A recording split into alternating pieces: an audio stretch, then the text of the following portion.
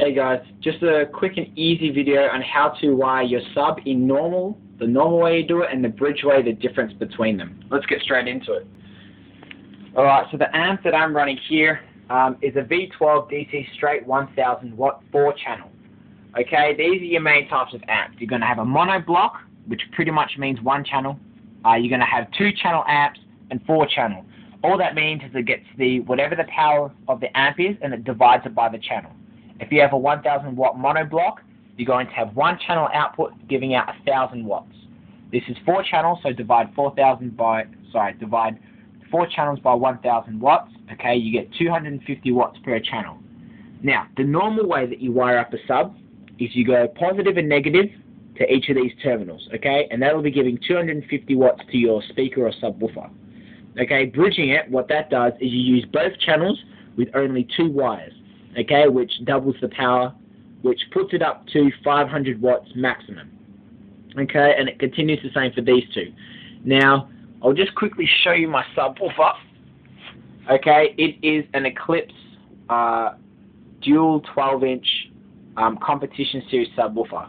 Okay, what competition series means is every few years each brand brings out the very best technology to make their best subwoofer, and they put it in the competitions to verse everybody else.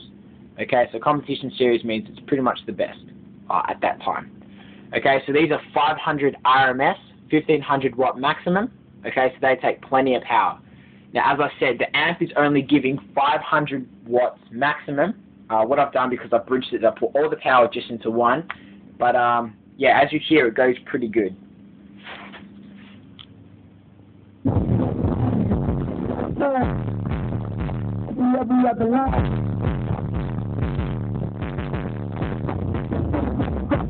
I don't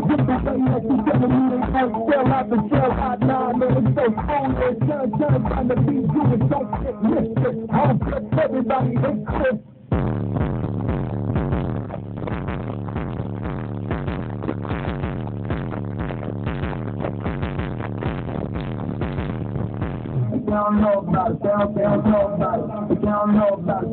Don't know about it. They don't know about it. They don't, they don't, they.